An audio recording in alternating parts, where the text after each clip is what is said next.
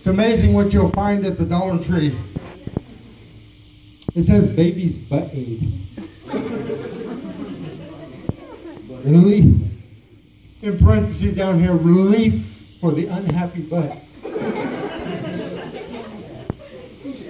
so what, what do you do? so what do you do? Just sprinkle a little and it cracks a smile?